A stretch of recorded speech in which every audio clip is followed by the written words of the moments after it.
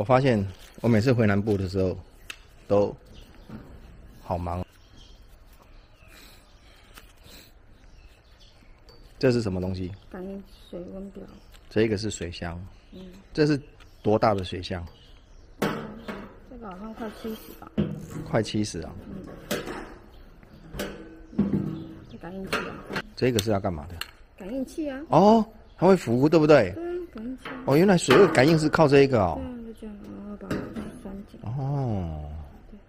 拴紧，那问问一下那个老丈人，这拴紧的时候。这个水会不会跑出来？哦，再用一个塑胶垫片，然后符合它的孔位。嗯。有符合吗？差一点点。哇，那这怎么办？再弄一下吧。哎，为什么这次做的都差一点？哦，原来是这样哦，原来要转哦。人家这个是孔位是刚刚好的，就有人说它不会对。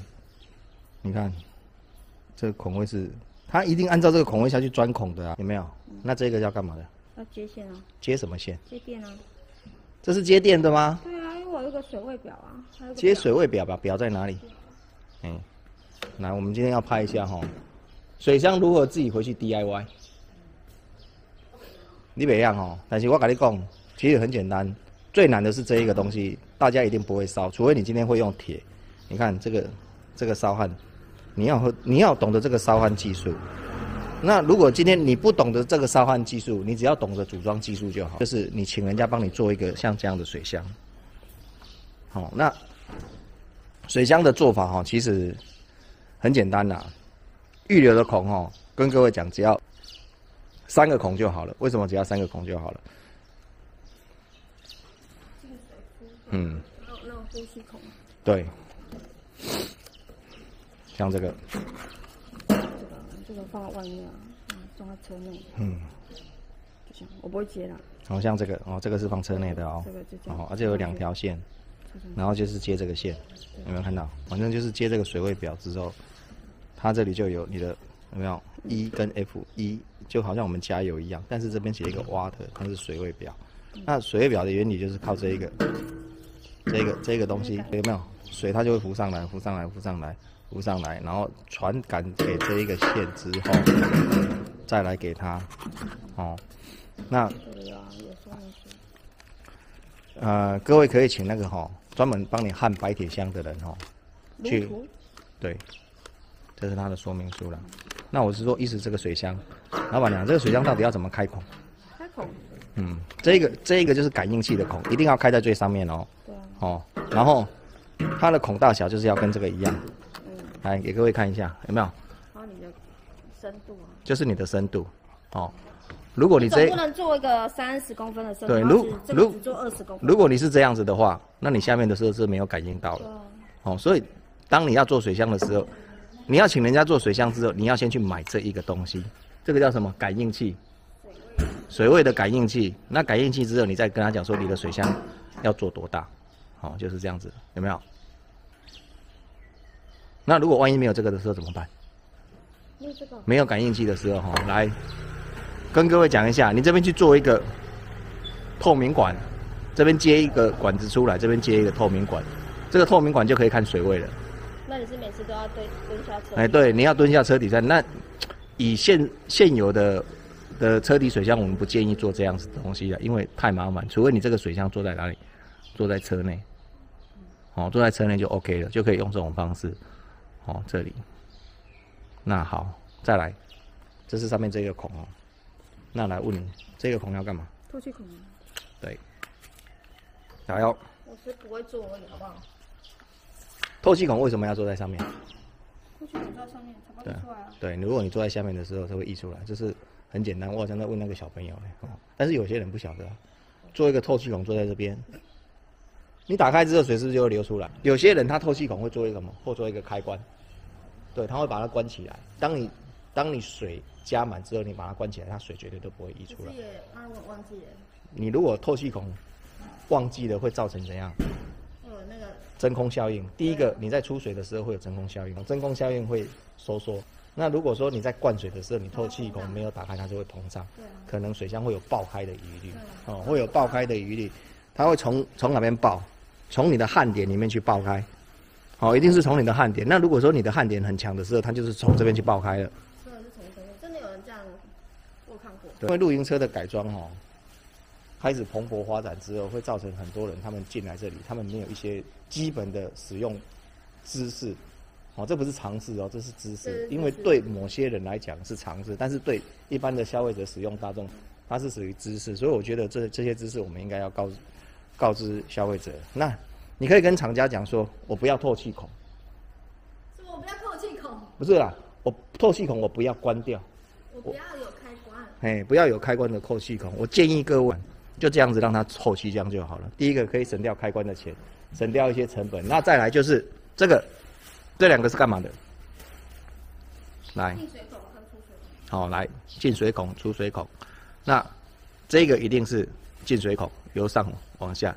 进水孔也可以坐在这边，通通可以上下。因为你坐在这边的时候，啊，只要你水管往下拉就好了。好，比如说你这样子对不对？进，那遇到这边满水位，它是不是会出来？你这个水管只要拉出来之后往上，对不对？它就 OK 的，所以装在这边是可以。只要你这个水管再拉高一点点就好了。也是一个方式嘛，因为你就这样子拉，然后稍微再拉高一点点。那因为进水孔我们可以关掉嘛，对啊，所以它水进出水都可以。好、进出水都可以关掉，所以它这个水是不会溢出来的。那再来就是这个出水口为什么要做在下面？哦，啊排水啊，哎、水水往低处流。对，因为除了加压马达让它出来之外，万一你这一个水箱要把水裂卸掉的时候怎么办？你只要做一个像类似会有个开关。水龙头的开关啊，或者是一个左右横向的开关，哦，它就可以把水整个弄出来了。那好，再问一下老板娘，为什么现在的水箱越来越贵？因为铁涨价。对，现在所有的物价都在涨，对，哎、我买完之后，嗯，这一批买完又涨价又，涨价，又涨价了，这已经是第二次。涨价了，一直涨。之后说，哎、不好意思，我下次又要涨一点。我说哈，不是才涨过吗？他说，呃，因为没办法。这个没办法，不是供，最主要是原物料一直涨，一直涨，一直涨，所有的东西都一直涨，一直涨。那你给人家做这样的一个水箱要多少钱？这个现在报价是多少？我们一我目前所知道的啦，像莱蒙的水箱，我们之前那一个塑胶水箱就做一做就要两万八了，安装大好两万八啦。那那还有一些有有四万的，有三万的，最便宜最便宜的是应该是那个莱蒙那一个了，两万八。啊，那我都报太便宜，啊，你你你们装水箱多少钱？两万五。不过我建议各位了哈，装水箱就是还是可以买回去自己装。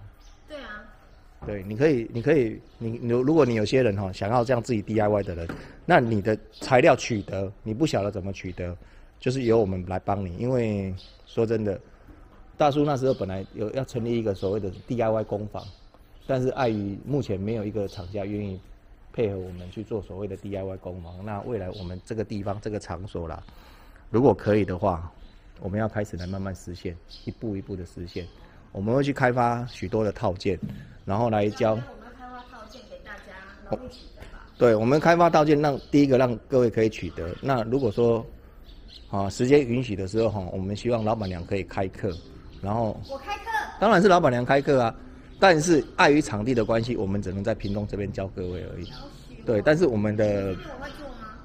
一定是老丈人教啦，对，因为毕竟大叔已经这个事情已经讲过了，然后本来是要找台北的厂家帮忙协助，那因为好像太忙了，也没办法做了，对，所以我们这边真的比较闲一点。阿姨要在旁边说闲个屁啊闲，有，有人在那边抗议了，他说我我。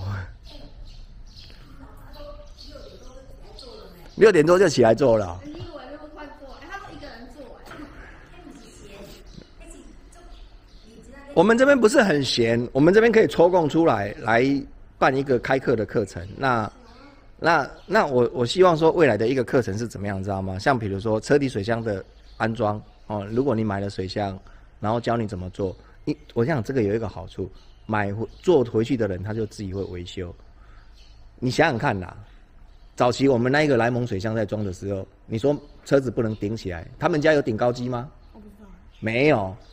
就是那个老师傅趴在地上里面做出来的，DIY 的能力就是要这样去克服，不是所有的东西说啊，我家要有顶高机我才可以做，我要怎么样才可以做？你要去克服，因为你想要 DIY 的人，你就要想办法去克服。那还有一个就是，比如说我们有整个模组化的的橱柜啊，哦，像水槽啊之类的，哦，我们都希望说，只要你能够画出设计图，那做完之后，我们是希望能够来做组装。OK，好，我们今天的水水箱哈，介绍就到此。